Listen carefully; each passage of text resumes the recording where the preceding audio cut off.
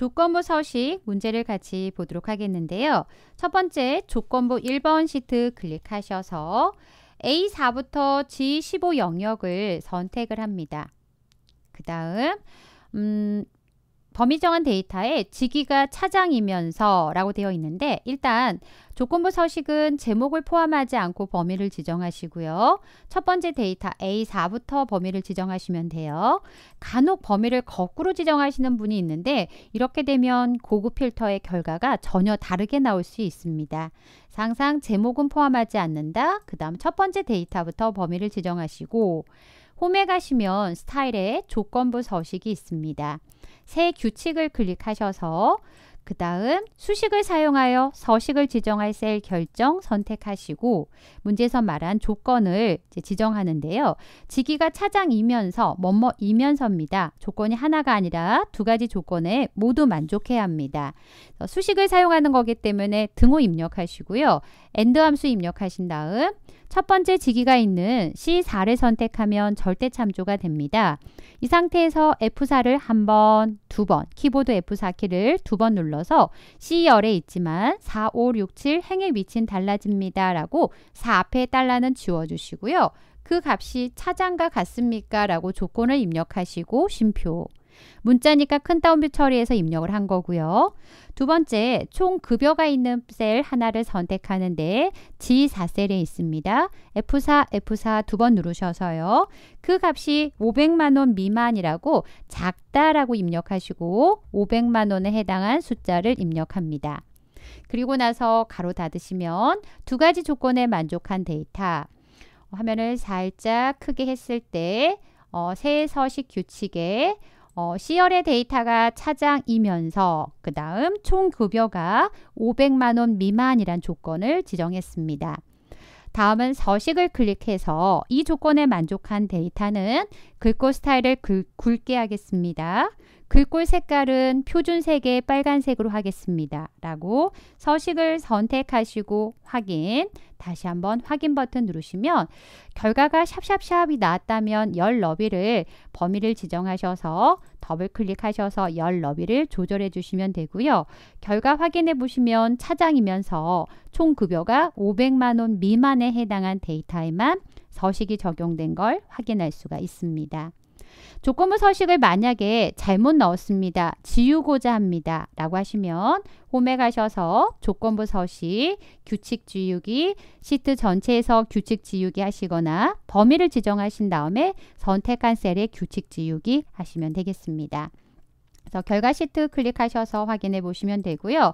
만약에 조건부 서식 규칙을 지워 볼까요? 규칙 지우기 시트에서 전체 하시면 이렇게 조건부 서식에 어, 지울 수가 있습니다. 다음은 조건부 2번 시트 클릭하셔서 두 번째 문제를 보도록 하겠는데요. 현재 입력된 데이터에 A4부터 F14까지입니다. 제목을 포함하지 않고 첫 번째 데이터부터 선택을 하신 다음 홈에 가시면 스타일의 조건부 서식이 있고요. 어, 체형 코드가 P 또는 S라고 되어 있습니다. 그래서 함수를 이용해서 작성, 수식을 이용해서 작성할 거라서 새 규칙을 선택하시고요. 수식을 사용하여 서식을 지정할 셀 결정, 그 다음 어, P 또는 S라고 되어 있네요. 등호 입력하시고 OR 함수가 필요합니다. 둘 중에 하나에 만족하면 체온 코드가 P 또는 S로 시작한다 라고 되어 있으니까 LEFT 함수가 필요합니다. 왼쪽에 한 글자를 추출할 건데요. 체온 코드가 입력된 C4셀을 클릭하면 절대 참조가 되고요. F4, F4 키를 두 번 눌러서 C열에 있지만 행의 위치는 달라집니다. 그 다음 심표 1 해서 한 글자를 추출한 값이요. P하고 같습니까? 라고 비교할 거고요. 그 다음 음, 다시 한번 레프트 함수 이용하셔서 C4, F4, F4 두 번 눌러서 C열에 있지만 행의 위치는 달라집니다. 한 글자를 추출하겠습니다. 그 값이 S하고 같습니까? 라고 비교하시고 가로 닫습니다.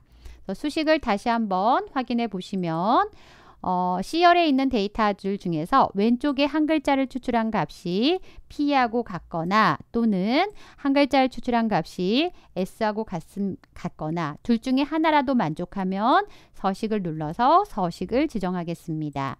서식을 클릭하셔서 음, 행 전체에 대해서 채우기 그 다음 표준색의 녹색이라고 되어 있는데요. 정확한 색깔명을 확인하실 때는 무늬색을 눌러서요.